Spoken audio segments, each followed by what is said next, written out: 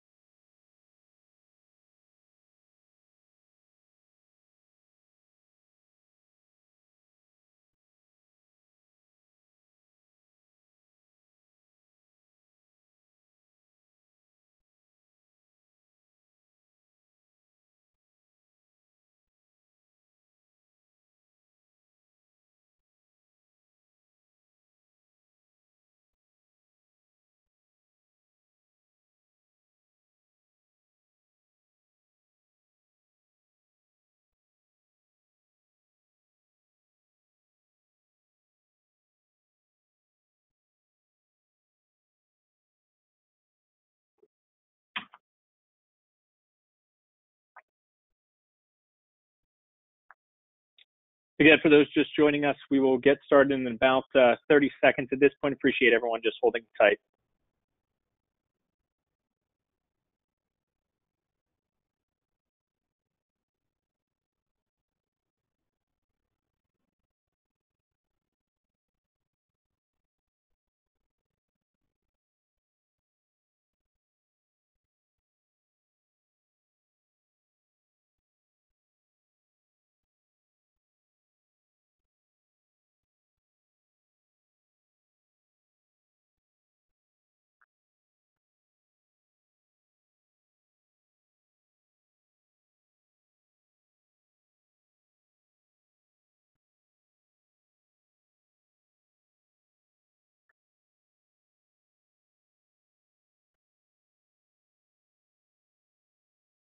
Okay. Well, thank you very much, everyone, for joining today's webinar, Evolving Your Claims Quality Program to Meet New Demands. Uh, the webinar is being recorded, so um, uh, once we're able to take the recording and, and, send it out, we will do so likely early next week. Uh, today's discussion is going to focus on the challenges and opportunities insurers face when trying to evolve their, their claims quality assurance programs. Uh, the group that you see in front of you here will share how they have worked to grow their own uh, claims quality programs and help to provide useful tips on how you can drive quality in your own organization. Uh, the discussion is meant to be open and honest and, and informative and interactive. And, and to that extent, uh, we'll have a couple of polls that'll pop up during the chat where we ask you, the audience, to answer them and help to drive the discussion. Uh, you'll also have the opportunity to submit questions throughout the discussion in that GoToWebinar widget that you see on your screen. Uh, before we get started, I'd like to um, uh, introduce our panelists and give a little bit of background to Athenium Analytics. So, a little bit of background to the company. Athenium Analytics is a company focused on helping insurance and government clients to mitigate risk and solve pressing issues.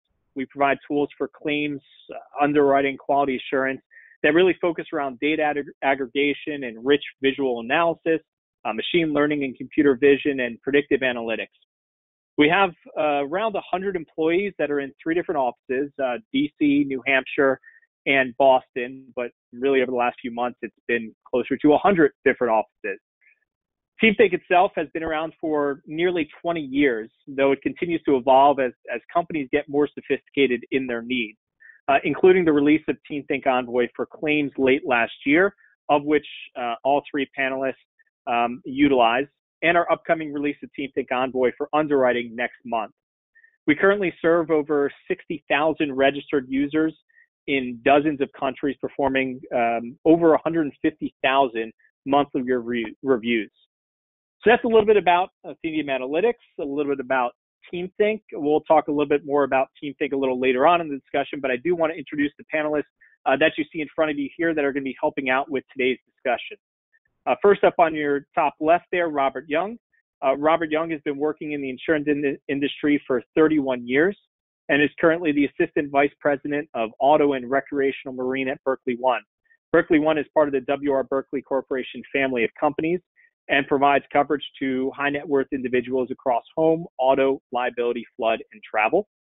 Uh, next up, next to Robert, and, and by the way, you may hear us uh, affectionately refer to Robert as Doc throughout the uh, uh, the the panel discussion here. We know Robert well enough, and and he's been gracious enough to allow us to call him Doc in case we we slip up a little bit. Uh, next to Doc, there you have Kate Townley. Kate Townley has been working in the insurance in- industry since 2012 and at Verus Underwriting Managers since 2016.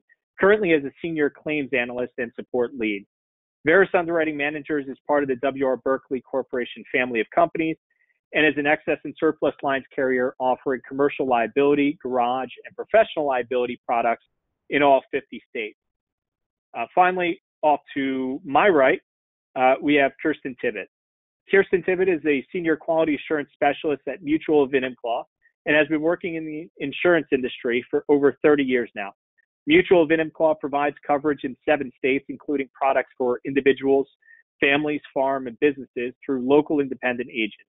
Enumclaw is nationally recognized for its claim service and has received an A prime stability rating from Demotech. Aside from the panelists from um, uh, these other companies that are joining us, um, we also have my colleague Christina Guzman.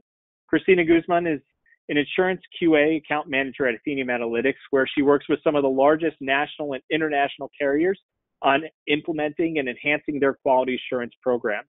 Uh, before joining Athenium Analytics in 2019, Christina spent over 23 years in the insurance industry, working in claims and quality assurance for a range of national, regional, and specialty carriers. Christina is a graduate of the University of Texas. Longhorns, there we go. Waiting for it. And provides a unique perspective as both an insurance QA account manager and a former client of Athenium Analytics. Um, then myself, Mike Bennett, I am the Vice President of Sales at Athenium Analytics. Um, in my time with the company, I've worked closely with product teams, I've worked with tech teams, uh, strategic account management teams on helping to drive uh, the development of our products and, and, drive the industries that we serve. Um, my background is actually in meteorology and data, uh, but I've found the quality assurance uh, realm to be quite interesting, and I've, I've been diving deep into it uh, over the last year and a half or so. So now that we have a, um, uh, an introduction to our, our panelists for today and who's going to be talking, uh, we also have a set agenda. Uh, we want to cover uh, five broad questions that revolve around quality assurance. You can see some of the, the topics up here. But again, we hope that throughout this webinar, throughout this discussion, that it is a a true discussion, even though in a virtual setting where you can ask questions uh, through that, that webinar widget. Uh, you'll answer the polls that'll help to drive the discussion. Um, and we'll get to some of those in a Q&A uh, at the end of this. So without further ado, I've introduced her already, but I do want to bring back in Christina, uh, who's going to be moderating the discussion. Christina? Good afternoon, everyone, and welcome to our webinar this afternoon. I'm glad you all could join us. Um, and I'm happy that we have three panelists from three different diverse areas of insurance um, who are all using the Envoy product, but who use it and come from different experiences using the product. So um, it'll be great to hear from all their um, extensive experiences and different perspectives uh, as we talk about how we can uh, drive quality in your departments as you grow your QA department. So as Mike mentioned earlier, um, we're going to uh, interject some polls for the audience to be able to participate. And so right off the bat, we have our first poll coming through. Uh, next slide. There we go. And it is, what is the top pain point you have experienced in trying to grow your QA organization? Um, if you would please select one of A through D, A, extensive labor hours to pull and analyze data, B, poor analytics and reporting, C, subjective scoring or quality management, and D, inability to use data to drive organizational changes. Um, all of those could be applicable to your QA organization, but we're asking you choose the best one or maybe the most, uh, the most that you've experienced that applies for your organization. and we'll pull up the poll results here in just a few seconds. But this will help lead a discussion as we get into the warning signs and the common hurdles that happen in a QA department and uh, how we can identify if we need uh, to try and grow our organization. So um, do we have audience poll information yet?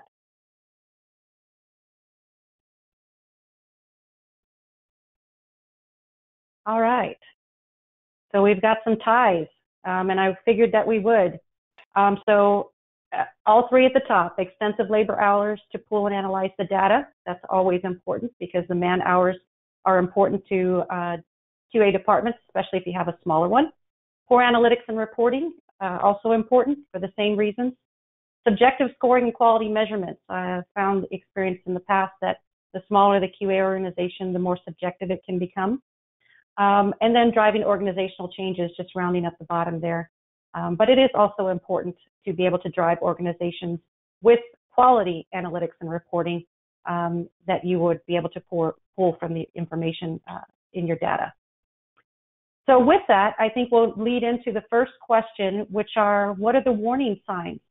What are the signs that indicate, and this is to our panelists here, what are the signs that indicate an organization's need to grow or evolve its QA program? Um, Kirsten, or sorry, Kate, uh, do you have any information on this?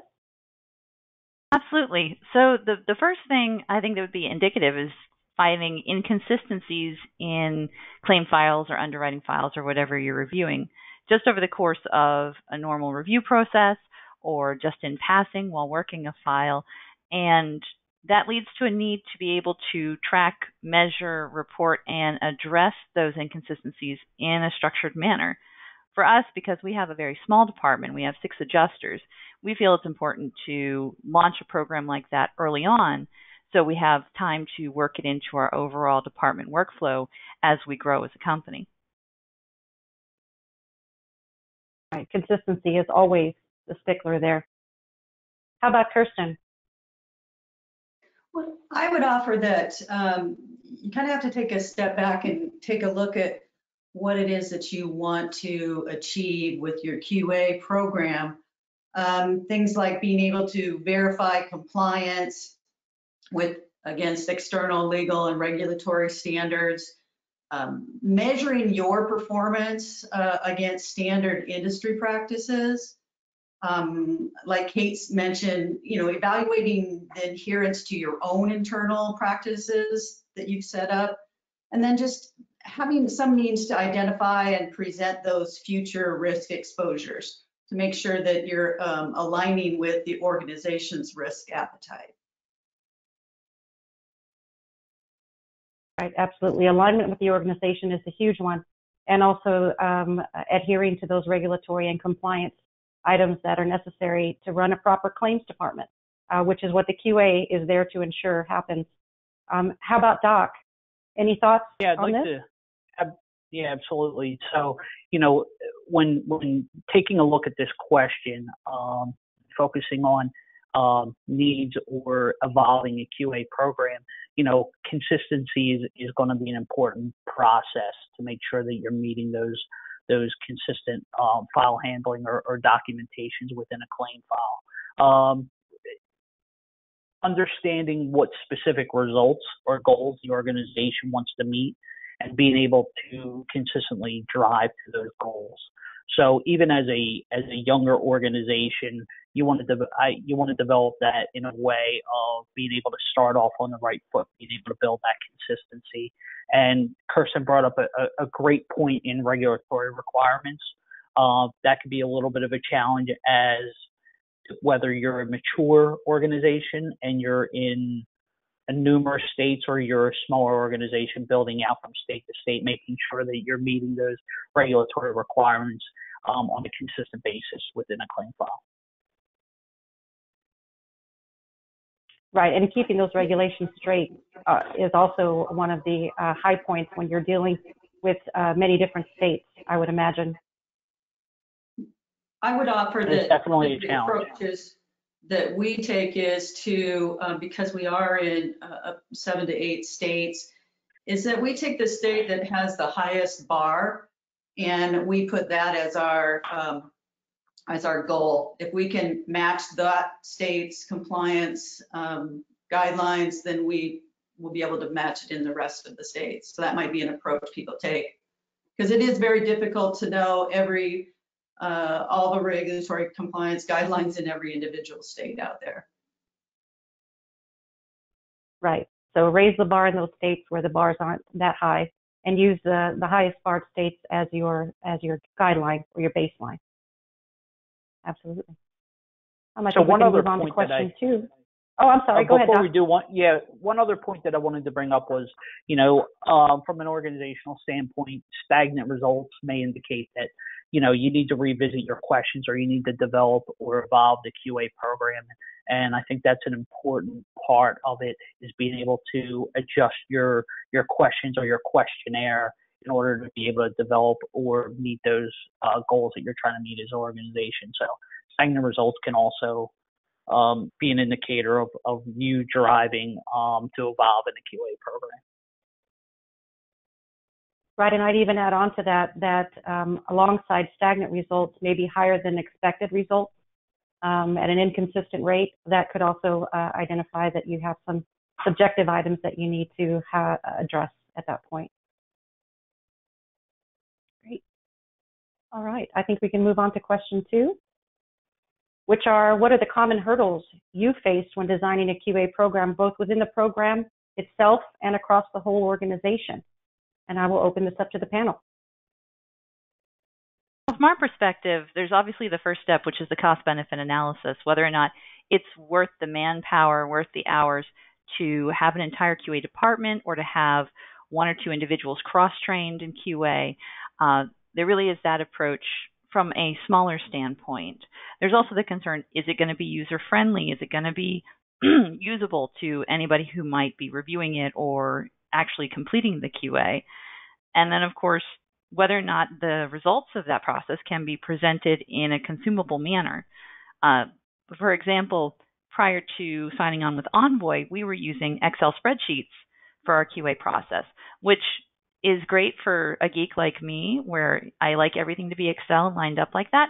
But for upper management, they don't have time to go through 27 tabs to look at all of that data. They want it in one concise place so that they don't have to spend all the extra time reviewing. So that was a big consideration, at least from our perspective, of having something that's both usable for the reviewer but also consumable by the upper management. Right, and the man hours and the just the actual return on investment that you get from being able to uh, identify the information at a faster pace than say across 27 tabs in an Excel workbook, right? mm-hmm. I would offer that I will- um, if we're talking about hurdles, um, I, in my opinion, uh, QA needs to be objective and it needs to be independent from the claims department uh, and that particular leadership hierarchy, which then allows the leaders to drive towards the outcomes that they want. But again, it depends on the size of the organization. Maybe you don't have the manpower, which you can have that separate one or two or however large it may be in some of the bigger carriers. A separate's got to be within the claims department. Um, the other hurdle, and we kind of spoke to it uh, in the first question, is just making sure that you understand what is the department's strategy, what are the objectives, how is QA going to support that, um, and you know what's the overall risk appetite and tolerance within the claims department or within the organization, um, so that you're developing this program um, and that you're you're there to uh, align and support um, that you're not going to get in the way or hinder what what the direction is of the organization. Right, absolutely. Supporting the organization as a whole is should be one of the major goals of a of a QA department. Go ahead, Doc. Yeah, I, I can appreciate what Kate said uh, regarding uh, a spreadsheet audit. Um, that was what we were using prior to uh, joining Envoy and, and using TeamThink Envoy.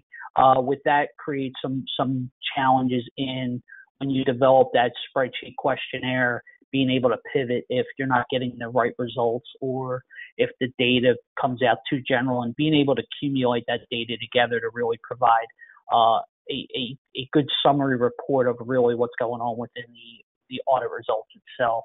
Um, I think that some of the hurdles that you face are creating questions that may not be significant to what you're trying to measure um, and not really showing you what the uh, metrics are in order to achieve the, the organizational results.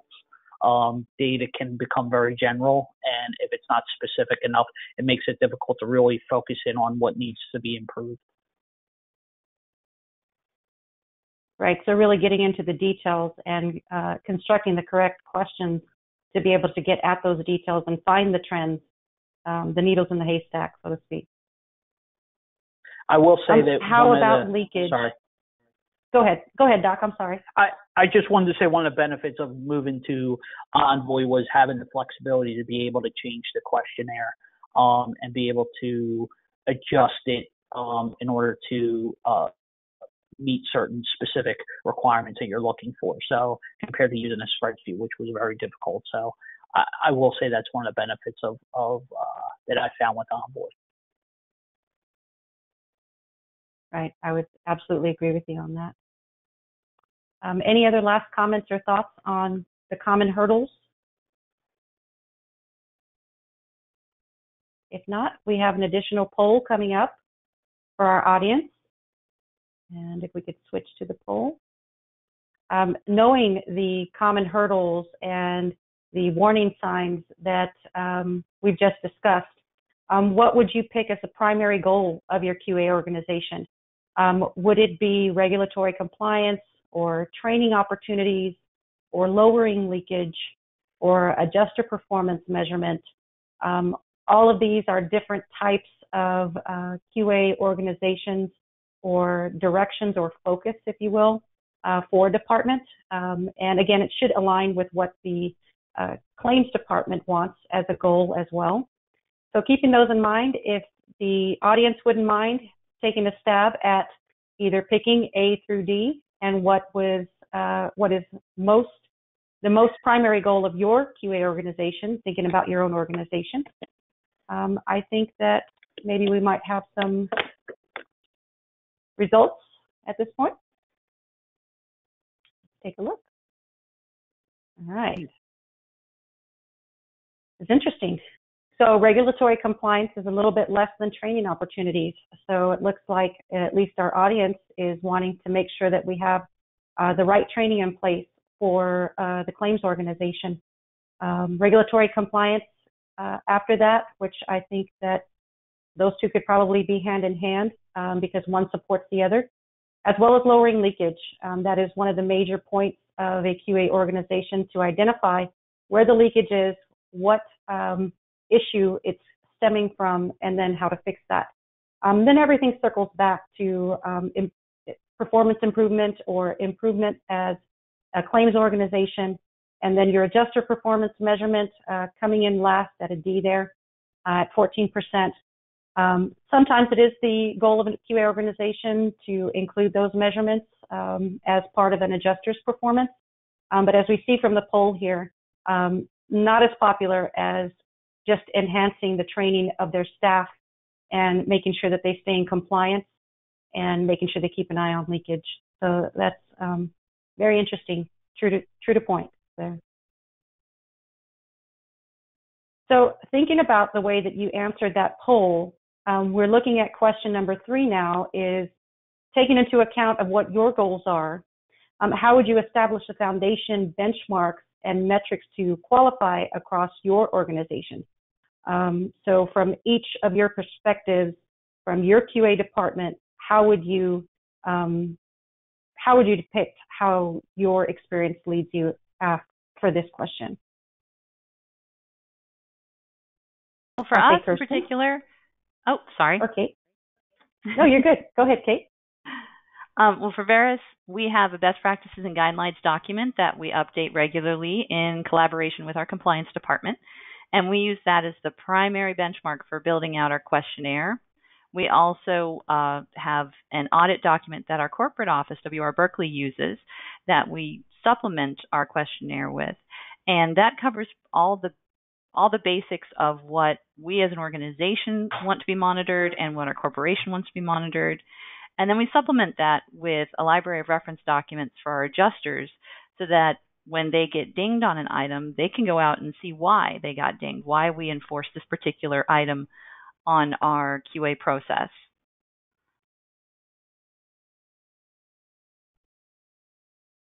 That word ding seems to be happening less and less these days. we I, I've seen challenges marked, I've seen opportunities marked, but I do still hear the dings every now and then. How about uh, Kirsten or Doc? I'll, uh, I'll chime in here. Uh, no pun intended with the ding. Um, so one way that we've tried to avoid uh, that, and I see that it was last on there, the adjuster performance, is we focus on more at a line of business and team. Uh, you know, you when you're doing your review, certainly it's an individual file review, but you take the the element of the individual out of it, and we're trying to look for those drivers of uh, the behaviors across a team or across a line of business so that we can have that information to turn around and share that with all rather than it's not a performance management um, approach. The other thing I wanted to share is that um, we use it in a way that certainly you've got your regulatory compliance aspect of it, which can be separate. It can be mixed in with the quality, but um, maybe it is better to be a standalone um, aspect of it because it's very black and white. And when you're measuring a, a claim file, uh, there can be some subjectivity that comes in, in, even though you've got this quantitative analytical approach in answering, uh, you know, template questionnaires. Uh, the other piece is to is the quality, which is a big component of any type of QA program. And depending on the organization, um, as Kate mentioned, you might have a specific focus. You know, some might focus on a timing aspect. How, how are we moving the process along? Whereas some uh, organizations might focus on customer service. And so then you're building in those uh, questions that allow you to um, drive to those areas that are important for your organization, and that that's that's very important to be able to do.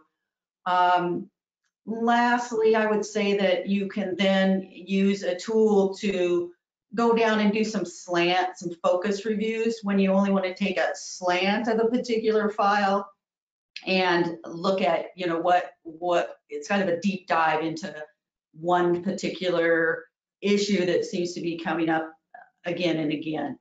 And then lastly, because the, the tool allows for the measurement of leakage, um, you, you have that included in with the quality aspect.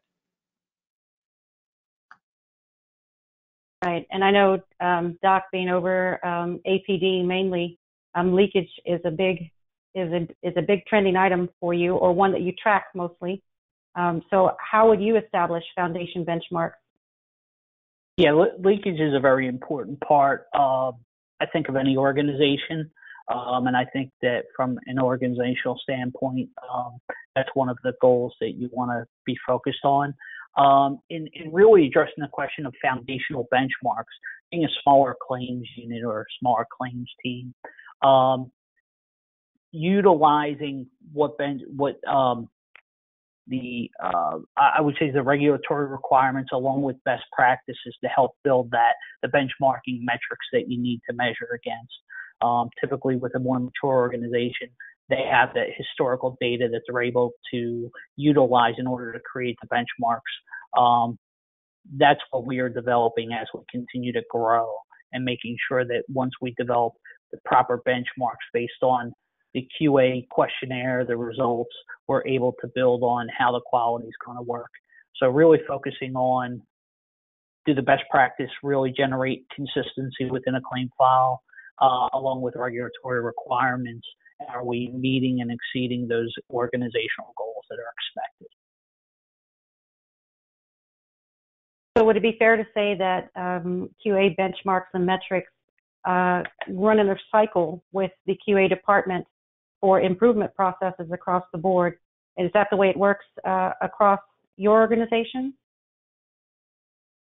I would say so. Um, obviously, when you work to build out those benchmarks, um, depending on how you're measuring or how often you're measuring, you're going to see different cycles.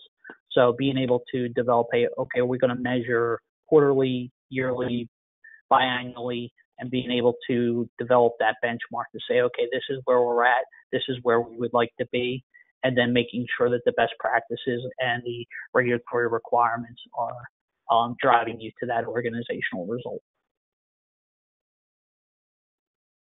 All right, Kirsten or Kate, anything to add? Good. Well, that actually leads us into our fourth question, which is about continuous improvement and uh, what would be the best way to utilize the rich QA data that you receive now to drive continuous improvement in your departments or through your experience, what you've seen in the past versus now. Um, how about Kirsten? Well, I think um, it's really about the story. And so the more information you have to be able to tell the story uh, to those department leaders, the better off you're going to be. Uh, there's going to be fewer surprises, you know, it's effective use of some resources, and, and ultimately it benefits your policyholders. Um, but being able to identify the, the root causes, the drivers of the behavior, as I said before, is a really important component. And then it's what you do with the data. Um, I consider myself a storyteller.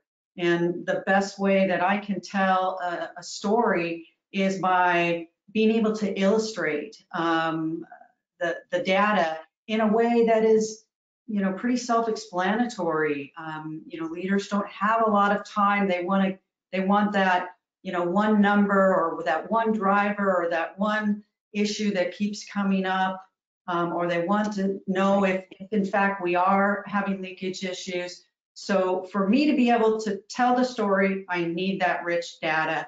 Um, and it makes my job easier and it makes the, the audience um, appreciate what I have to offer. Right, I would absolutely agree with you. Kate or Doc? From my perspective, um, on building on what Kirsten said, communication of your results is key. You can you know QA all the claims that you have on your inventory, but if you don't do anything with that data, then you're not telling a story. You're you're not doing the the data justice. So being able to communicate it to the the claim handlers who may or may not need coaching, communicate to upper management who may need may or may not be need to be alerted to a potential pattern or situation. If you're not communicating the data, then you're wasting your time. And that I feel is the most important part of the process is not just collecting it, but getting it out there. Absolutely. How about Doc? Yeah, and to add to that, I, I think uh, for us, first, understanding the data is important. Um, once understanding that data, how it could be used, um, as Kate said, to maybe um, coach an associate at an associate level, uh, provide the organization with the overall health um, of the claims department or a specific department, depending on um, who's using it, and also used to really consistently measure. It's it, the consistent measuring tool to and identify areas that need improvement. Um, data is great, but understanding what I would say Kirsten says the story behind the data and being able to provide specific measurable data that helps show your audience, whoever it is, whether it's uh, management and associate, um, to help develop a map for improvement um, and show what the specific results are really really driving at. So data is great, but under, being able to understand what's behind the data is a key in making sure that it's pretty specific and measurable to be able to use the data like uh, Kate said. Yeah, I would absolutely agree with that. And you mentioned, um, or you all mentioned, um, using the data to tell the story and report back. Um, I'm curious across your organizations, your reporting line is that um, up, down, across? Um, in your experience, what works best to uh, continue to drive improvement through your organization? I think it's a combination. Uh, for us, it's a combination of across and up, um, and possibly down, depending on um, what we're dealing with. Um, but I think all three actually factor in for us um, because we are utilizing it from an associate level to a peer-to-peer level, uh, doing a peer-to-peer review and, and, understanding the differences in the data there, and then uh, being able to provide that above. Similarly, we're using it primarily as a coaching tool, not just for reporting to upper management, but also to give the supervisor a structured opportunity to work with each adjuster individually on potential coaching opportunities or on things that they're doing well to give them, you know, praises. Uh, it it gives more of an opportunity for those one-on-ones that you know the day-to-day grind doesn't usually allow for. Yeah, it can absolutely help in the one-on-ones, especially. Kirsten. So we use it across and up. Uh, one of the things that hasn't been mentioned is that we actually calibrate. We spend a lot of time calibrating among the, the reviewers so that we can ensure that we're looking at, yes, you know, the questions are pretty yes and no, but there's still subjectivity that, that comes into play. It, it doesn't it doesn't matter what type of a tool that you're going to use. So that is a, a, an important component. Um, and then Again, we focus on a more of a team, um, more of a line of business, more of a departmental um, gauge as to how it is that we're doing. We don't use it as an individual or a, any type of a, a direct coaching tool. Right, so two different uses there, but still very helpful in, in uh, uh, building your QA department according to that which the claims department would or the claims organization would like to see. So it's all tailored to, to the claims organization that you guys come from. So very good perspectives there. Um, and that leads us to question number five is building from your experience and knowing that we've talked about all the different points that we've talked about today, um, what advice would you give to someone looking to evolve their own QA program? Question open to the panel. Well, From my perspective, the, the first suggestion is obvious. You know your business, know what your business needs are. You know who your audience is going to be, whether this is going to be departmental or whether this is going to go up, uh, whether you need an entire department or just a few people who are trained in doing this, or whether you're going to go peer to peer on it. Uh, and then what are the results going to be used for? Is this purely for a compliance standpoint? Is it going to be used for training and coaching, for reporting the health of the business? Those are all things that need to be outlined before you can build on the, the answers to build a QA department. To piggyback off of what Kate is saying, um, I would say, you know, there's uh, as many approaches to measuring as there are QA programs out there. And what it comes down to, once you've sort of decided what your base is and what your objectives are, what what is the tool that you're going to use? And over the amount of time I've been in the industry, I've seen numerous tools, um, and some are uh, are you know uh, manually intensive and and take a lot of time. Um, but what you're trying to do is find the best tool that allows those users the, the ease of capturing that data in a straightforward, simplified approach. Um, because you're really, at the end of the day, you're going to measure the same things. We've talked about the three or four areas that you're going to measure.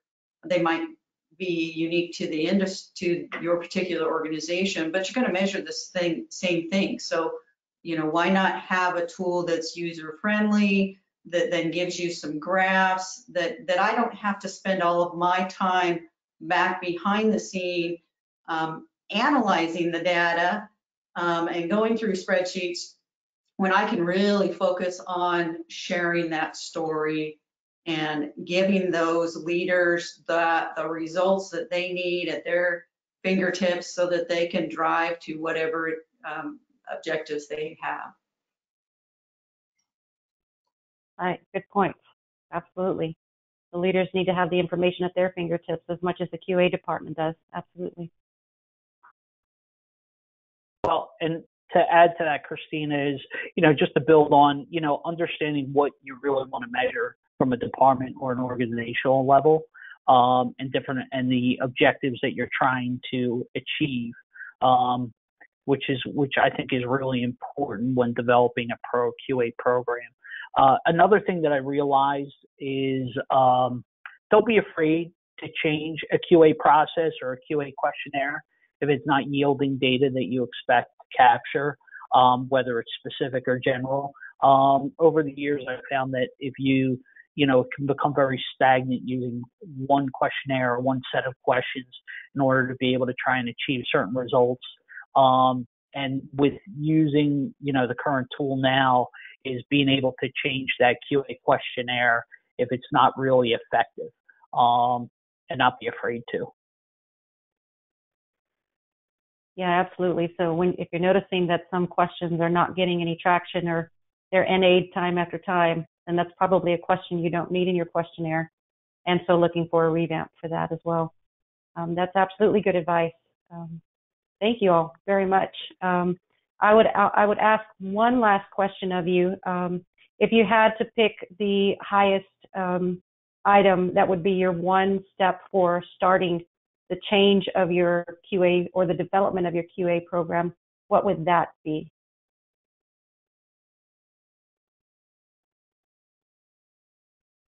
Well, For me, it would be the flex.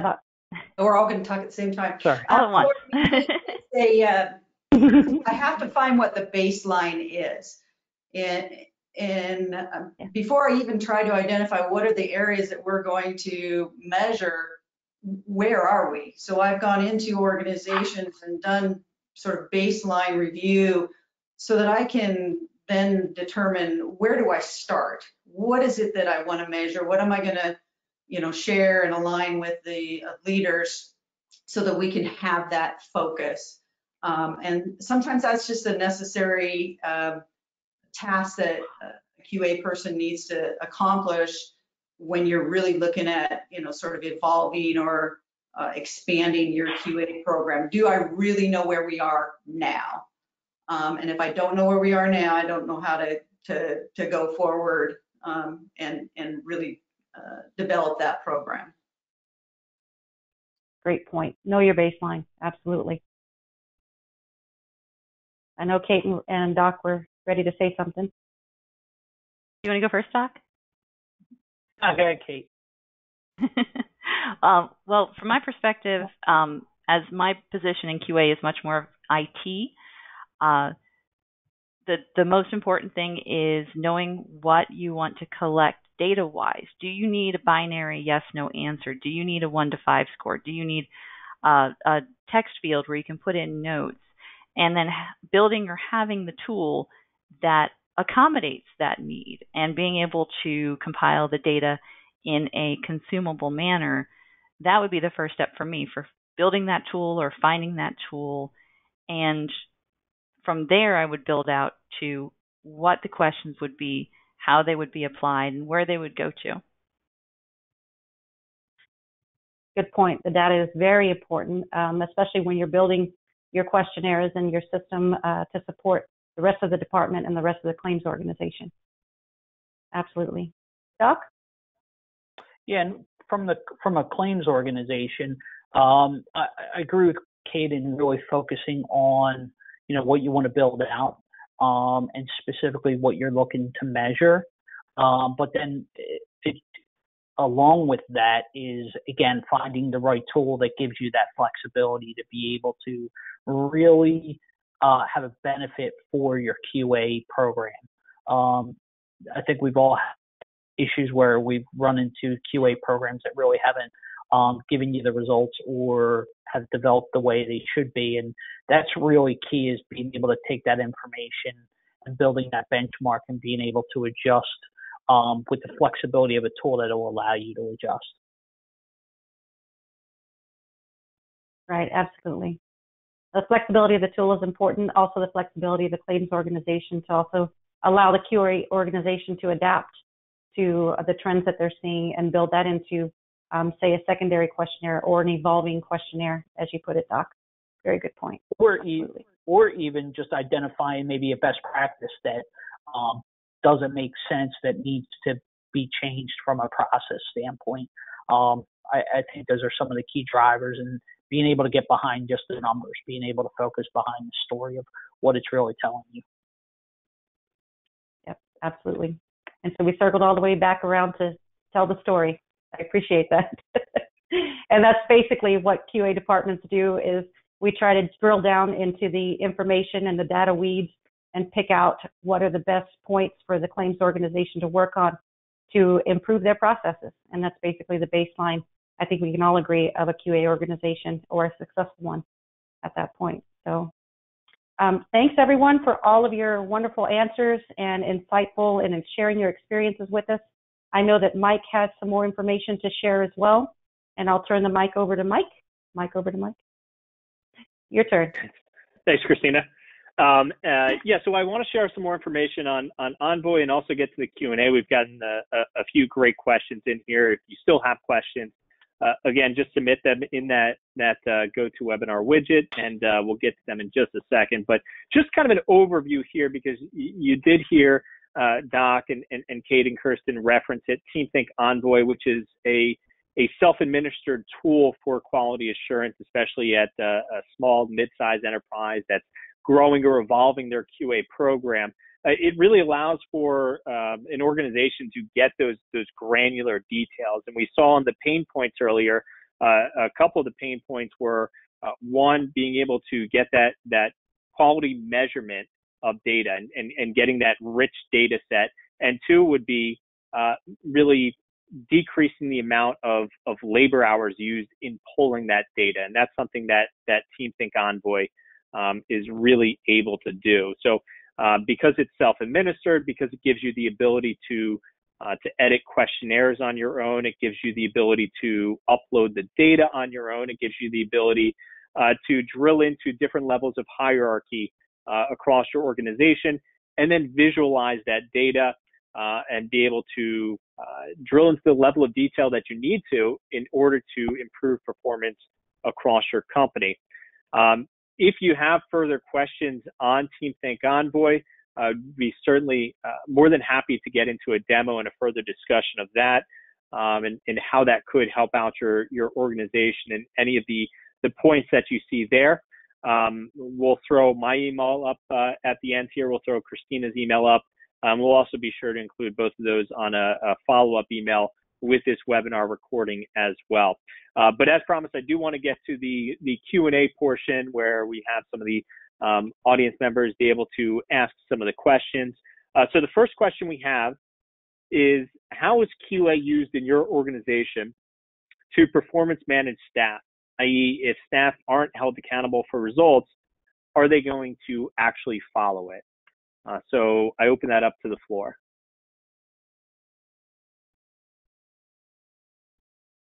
I'll jump in here. So as as a smaller claims department, um, using it as a performance management tool, I think is a small portion of, of what we're trying to achieve. You know, we're focused on really developing our coaching on consistency of our uh, claims file handling um, and making sure that we meet regulatory requirements. So, um, you know, there is a small portion of performance uh, I would call management that you would deal with. Um, but for the most part, it's really to develop the coaching needed, especially with you know making sure that um, best practices are followed and especially meeting the regulatory um, requirements requirements for each state, which can be a challenge because they change. I would say for us, so we take a more holistic approach uh, we use data for uh, and the results, as I mentioned, uh, more on a team or a line of business or an organizational sort of pulse. Um, in order for uh, anything to be utilized for performance management, it's got to be a statistically valid sample. Uh, the amount of reviews that we're doing on any one individual over the course of the year are, are probably not going to reach to a statistically valid sample to be able to us to hold our hat on that performance management. But I think what it does do though is it gives the, the management team the tools that they need to see, okay, well, I do have my group as a whole, we're missing X and consistently we're missing this. Gives me an opportunity to coach at that high level. Um, they certainly can use it as a, as a one-on-one conversation, but it would never be in a formal performance management um, usage. Good point. For us, it's pretty much a combination of what Doc said and what Kirsten said. Uh, we we tailored our questionnaire for the purposes of being able to use it as a tool for coaching and one-on-one, but we do use a statistically insignificant number of claims compared to our current inventory to use it as effective tracking for actual compliance uh, uh, for for uh, um, apologize for employee review purposes. So if you're only looking at 2% of an employee's entire inventory, that's not a true snapshot, but it does give the supervisor a gateway into maybe this employee needs further review, maybe we need to look at a few extra claims for this person, that sort of thing. It opens the door for potential improvement for the employees. So overall, it shouldn't be used. Um, uh, what I'm getting from the three of you as, as purely a, a performance management uh, uh, tool, but but rather um, either the the start of understanding what's going wrong in the process there, or or really a training or coaching opportunity for that individual or or for that division, right? Great. Yep. Yes. Great. So our next question, um, I know we we heard earlier, Kirsten. I think it was you that brought up uh, focused audit. So any tips on designing a slant or or focused audit? Well, I think that the beauty of the, the tool is it allows you to just dive down into one area. So when you're doing your sort of these holistic quality reviews and you're seeing the graphs that are coming up and say, for example, an area it, that keeps, has a bigger slice of the pie is an investigation. You can now then go down and go, okay, what is an investigation? What are the drivers uh, that are pushing us so that, you know, we're having issues in this area? And then do, build a slant review or a focus review, whatever you want to refer to it as, based on just that slant over a period of time. You know, once you've done the coaching, um, then go back and take a look. Well, how are we doing in this particular area? Um, and so I think there's a lot to be to be gathered from that because you can just narrow in on one or two areas or um, and change those behaviors in the in the long run. Great. Dr. Kate, anything to add to that? To add on what Kirsten said, you know, some data is meaningless without follow up, and the addition of a focused review could provide that follow up to let you know if there's improvement, if it's stagnant, or if it's you know, retracting further.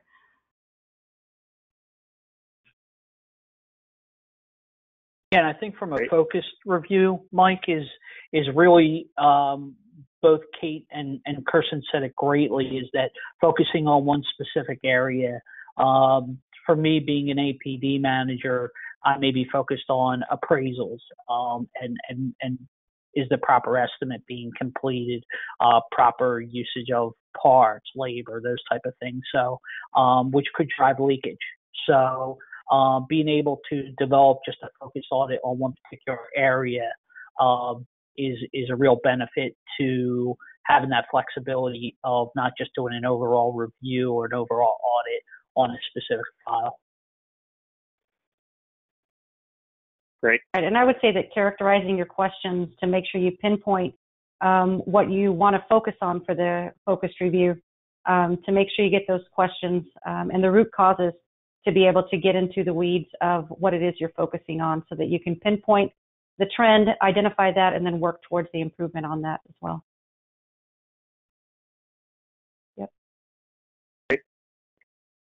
Uh, so the next question is actually uh, a bit of a follow-up to to the previous question, um, which um, and and one of the polls uh, around what the the primary goal of of quality assurance is, and and that's what level of communication does your QA department have with the rest of the organization?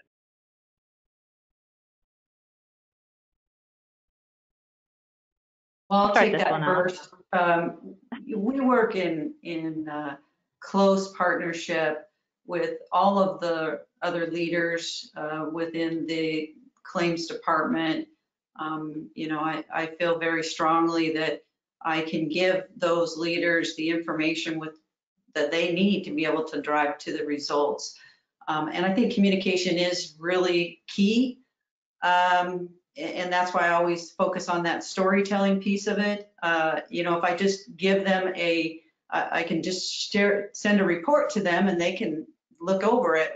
But it's that communication and that partnership that I think will um, take us much further down the road. For us, our QA department is myself and claims management. So there's a lot of communication going on there uh, to claims leadership of the QA results. And, but it also provides the visual tools for claims management to send a summary of the results up to upper management in the company, which it helps uh, round out her monthly reports or her weekly reports and just saying these are the things we're working on, these are the things we're excelling at, and visually it's much easier for upper management to consume that information if it's presented in one page format. Whereas if it's communicated over several emails or over several spreadsheets, that sort of thing. So inside the claims department, the QA is very integrated. Outside, it's uh, communicated via graphs. I would agree with Kate on that. Being a smaller claims organization, uh, the claims leaders uh, were all involved in the um, QA process and in the Envoy product, so we're able to communicate on a regular basis about what we're seeing, the type of results, and then we're able to communicate that up to um, different levels of leadership to be able to say, hey, this is the trends we're seeing, um, and being able to provide reporting off of the tool um, and giving more of a visual on top of uh, numbers um, is a huge help for us because it tells more of a story. Absolutely. Great. All right, so we have time for one last quick question here. Um, and the question is What are some best practices in your view to setting an audit schedule?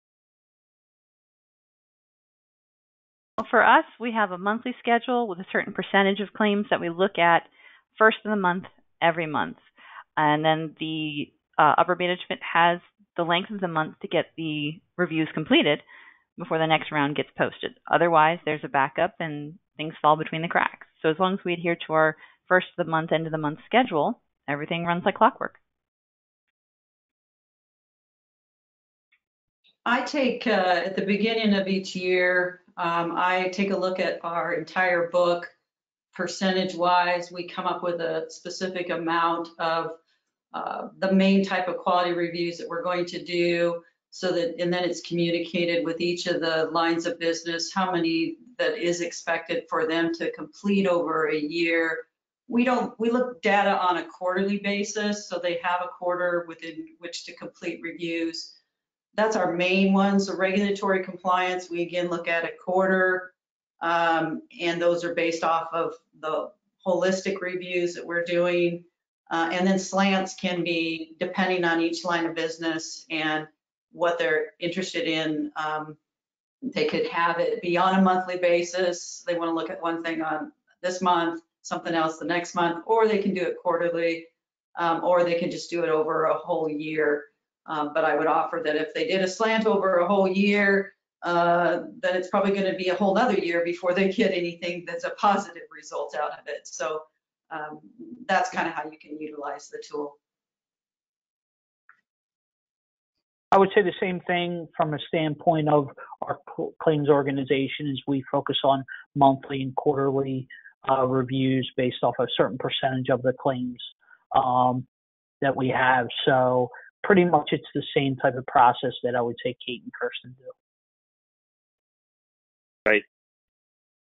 And just to, to piggyback off of that answer, um, that is something you know TeamThink Envoy easily allows the user to do is is to upload a, a sample set of, of claims data, uh, perform those reviews at whatever cadence uh, the organization wants to, uh, and also randomly target or or stratify your your file selection of of that that claims data. So which types of files would you like to pull, and uh, you know the reviewers to be able to review such uh, claims data.